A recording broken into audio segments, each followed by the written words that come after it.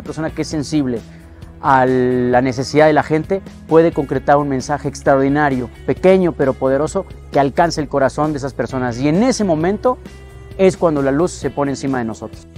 Soy Juan José Ulloa, tengo 47 años, estudié Ciencias de la Comunicación en la Universidad del Valle de México, Campus Tlalpan, y soy de la generación de 1993 y 1997. Siempre estuve acompañado afortunadamente por mis papás y bueno, una plática ya cuando se acercaba el momento de decidir qué iba a estudiar. Entonces mi papá me dijo, tienes que escoger o deberías escoger algo que si no te apasione, por lo menos no te disguste, porque eso te vas a dedicar el resto de tu vida. Al final creo que realmente eh, uno sabe bien cuáles son sus, virtudes, sus cualidades, y pienso que ese momento de titubeo, quizás no de, titubeo, sino de, sentirte con la responsabilidad de decidir el, resto de tu vida, lo que querías hacer, pues por supuesto que a, la gran mayoría nos pone nerviosos y a la gran mayoría nos hace dudar de si estaremos haciendo lo correcto. Entonces, bueno, pues sí, fue una elección eh, muy acompañada de consejos de mis papás, pero también de una, de, una corazonada interna que tenía en donde me decía que lo, lo, mío, a lo que me tendría que dedicar, tendría que estar relacionado, por supuesto, a las relaciones humanas, al sentido humano y social de mi país, de la gente y de los medios, ¿no? Siempre me sentí muy atraído por, por la televisión sobre todo. Entonces, al momento de decidir, pues uno va descartando y entonces las opciones se van haciendo menos y encuentras tu camino.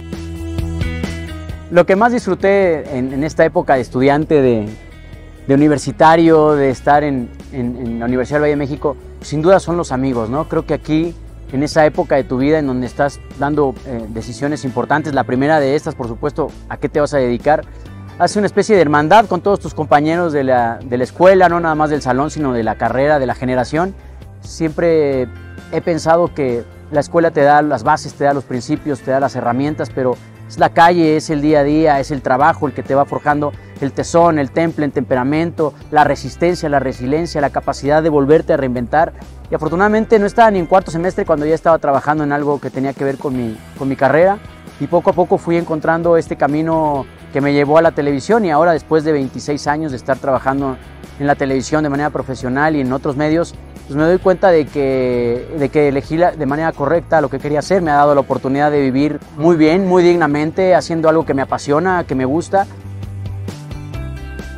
Yo siempre he creído que el que yo haya estudiado ciencias de la comunicación y no actuación, por ejemplo, me han dado a mí las herramientas para poder decidir cabalmente siempre el paso que quiero dar. Si tú tienes una mente fuerte, si tú tienes una mente trabajada, si tú tienes una, mente que ha sido eh, moldeada en la universidad y en la escuela, en las aulas, tienes la capacidad de salir adelante aunque el resto del mundo te diga que no puedes. Entonces yo creo que la, principal cualidad que deben de tener aquellos chicos que quieran dedicarse a, la comunicación es ser sensibles, ser sensibles en su entorno, en la problemática, en las aspiraciones, en las necesidades, en los anhelos de la gente que está alrededor de eso que van a comunicar si es de manera social, si es de manera deportiva, el sentir de la gente a la que van dirigidos, eso es lo más importante. Creo que la universidad es una etapa que nadie en el mundo se puede perder.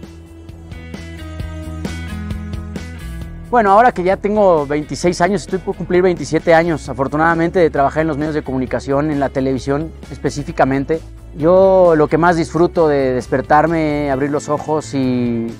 poder ir a, la televisión, a Televisa, es la gran oportunidad que me da el, hacer lo que me apasiona, lo que me gusta, lo que me hace feliz, lo que me llena. Me siento muy orgulloso de haber estudiado en la Universidad del Valle de México y estoy infinitamente agradecido con todos mis profesores de la universidad, mucho con el, profesor de ética y sobre todo con la Universidad del Valle de México que siempre me abrió las puertas para poder seguir estudiando. Recuerdo mucho mis, mis, épocas en la escuela porque son las que te dan las bases para poder decidir lo que sí y lo que no vas a hacer en el trabajo, ¿no? Entonces, nada, tengo una vida profesional muy plena, muy satisfecha y estoy sin duda convencido de que esa decisión que tomé eh, a principios de 1993 fue la, la más adecuada.